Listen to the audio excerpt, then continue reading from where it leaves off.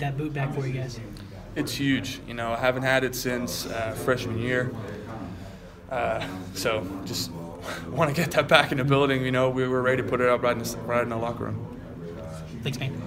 Yoder, what do you see from LSU's front seven? I know they've got Devin White at, at linebacker and you got a pretty pretty stout defensive line. They have a, a really big offensive line, and they're really technically sound in what they do. Uh, they read they how do you say you put they put a lot of pressure on O line, make sure they compress gaps and they shed off really well when they see the running back change direction in the backfield.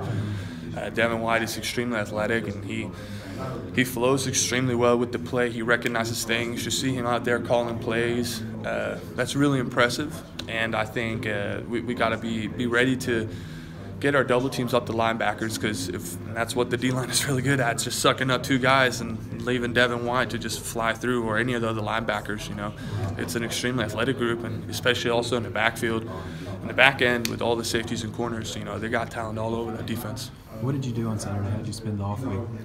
Just relaxed, pretty much. Uh, I actually went to a youth football game. Uh, I was uh, I was an intern at a CrossFit gym this summer and uh, one of the coaches there, her son, uh, had a football game, so I went to that, and then I just relaxed and watched some football myself later that night. Did you watch Alabama LSU? What, Definitely did. What, yeah. What were your takeaways?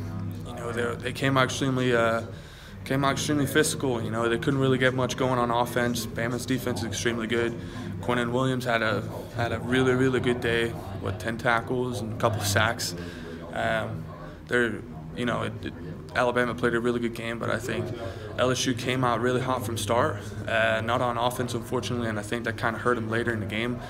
Um, but defensively, you know, that holding Bama to 29 points, I know that's not that's a lot of points, for, but for Bama, who's been averaging 50 points, I know it's a small victory, but in the end, you know, it's it's very impressive because Alabama has been flying around on everybody. Is it emotional week for you knowing that you'll be playing your last home game here? Uh, hasn't really set in yet, but it definitely is. Uh, it's weird not being able to, not going to be able to suit up and get ready in that stadium again, and running out of the A and hearing those Hog calls and everything. But uh, I'm, I'm excited for the last game to be a night game, and it's going to be there's a lot of hype around it, and that's the way we want to go out. Yeah, how nice is it to finally get a home game here? You guys have played a lot of 11, 11 a.m. games, but 6:30 crowd should be. I mean, lots of people tailgating. Yeah, it's.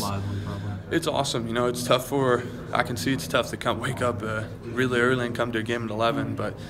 You know, I'm, I'm sure the fans. It's been awesome all throughout the year. Uh, even though we've had 11 a.m. games, I, I still feel like we've had really good attendance, and, and they've been they've been there supporters the whole way.